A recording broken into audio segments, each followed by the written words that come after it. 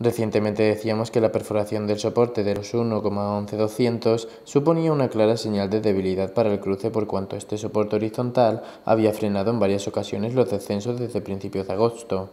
Este nivel de precios es ahora la primera zona de resistencia, la más inmediata. El mínimo de la sesión asiática se ha marcado en los 1,0892, situándose así por debajo de los mínimos del Brexit, en los 1,0910. Es cierto que podemos esperar algún rebote de cierta entidad casi en cualquier momento, pero lo que debemos tener en cuenta es que el precio nos ha dibujado un nuevo mínimo decreciente dando así continuidad a los máximos y mínimos decrecientes de los últimos meses, por lo que tanto rebotes aparte, lo cierto es que no descartamos que el cruce continúe cediendo posiciones en las próximas semanas hacia la zona de los 1,0650.